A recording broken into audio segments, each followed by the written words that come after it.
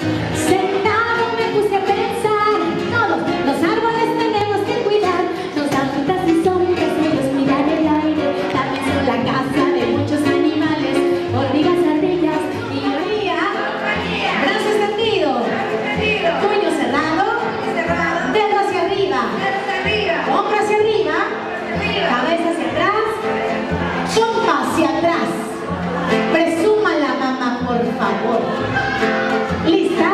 Yeshua, Yeshua, Yeshua, Yeshua.